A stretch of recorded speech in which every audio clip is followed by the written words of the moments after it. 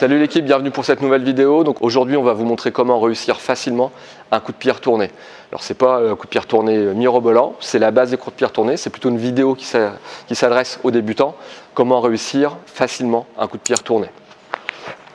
Donc si tu ne me connais pas, moi c'est Flo, prof de kickboxing depuis plus de 20 ans au Saint-André-Pied-Point, accompagné de Skender, donc un adhérent et futur combattant qui s'entraîne pour en tout cas, et on verra d'ici quelques mois pour le, pour le faire monter sur le ring. Donc tout de suite après le générique, comment réussir efficacement ou comment réussir simplement un coup de pied retourné.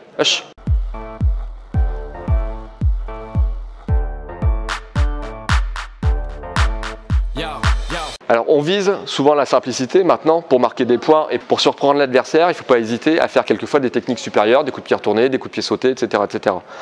Je vais vous montrer aujourd'hui un premier coup de pied retourné relativement simple et surtout comment le réussir. Donc on va travailler au niveau du corps. Souvent les gens quand ils débutent, ils se focalisent au niveau de la tête, sauf que la tête elle bouge, elle est mobile, elle est plus difficile à toucher que le corps. Donc là, moi je vais me focaliser sur son buste, sur son corps. Mets-toi juste comme ça. Je vais préparer mon attaque avec mon bras avant pour occuper son visage en fait, d'accord? Donc je peux faire un ou deux jabs et en même temps que j'envoie un jab, je vais tourner mon pied avant et le talon va me servir de viseur. Je tourne mon pied avant, je tourne la tête, d'accord? C'est la tête qui commande le corps. Je le fixe un peu, en même temps je fixe et je déplie, d'accord? Je fixe un peu, je fixe et je déplie. L'idée c'est d'aller avec la pointe du talon attraper le foie. Donc on y va doucement, mais on essaie d'être précis à chaque fois. Donc je fixe un peu. En même temps que je fixe, je tourne. De façon simultanée, j'envoie le jab, je tourne le pied. J'envoie le jab, je tourne le pied. Si mon talon est bien aligné avec son corps, ce pied-là, il va forcément le toucher.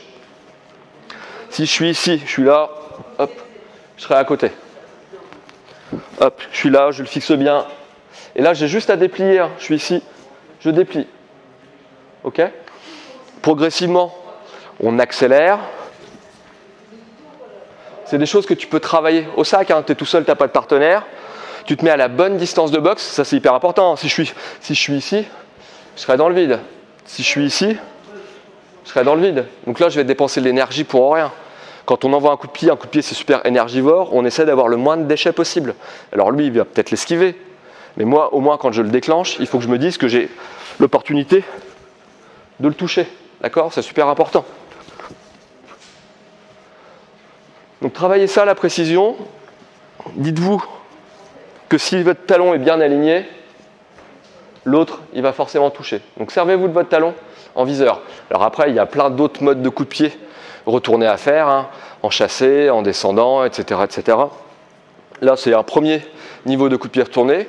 Déjà, quand tu maîtrises celui-ci, tu as appris à maîtriser ta distance et tu as appris à maîtriser la rotation. La rotation, elle va te donner énormément d'énergie, énormément de puissance. Par contre, il ne faut pas te laisser entraîner par ta rotation parce que sinon, tu fais rien de propre. C'est pour ça que je vous conseille de tourner la tête avant.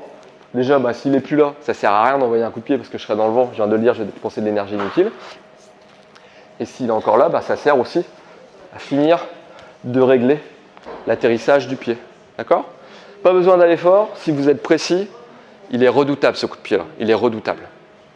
Allez, un petit bonus. Si je suis trop près, imaginons. Non, reste comme ça, reste. Je suis ici. Là, je pourrais jamais le passer en fait, mon pied. Si je veux le passer, il faut que je saute. Donc pareil, entraînez-vous à faire ce petit coup de pied-là au sac. Samir Mohamed le passait très très bien. Il est super efficace. C'est souvent des coups de pied qu'on voit dans les petites catégories comme, euh, comme Skender où c'est explosif. Donc si vous êtes dans des catégories, on va dire de moins de 60, moins de 63 kg, c'est des coups que vous devez travailler. Vous devez travailler des coups de pied aériens, des coups de pied explosifs, parce que ça va très très vite dans ces catégories-là, donc vous devez être très très rapide. Allez, à très bientôt pour une prochaine vidéo. Wesh